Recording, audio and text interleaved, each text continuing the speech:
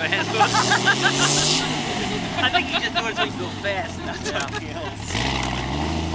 Probably faster to go slower on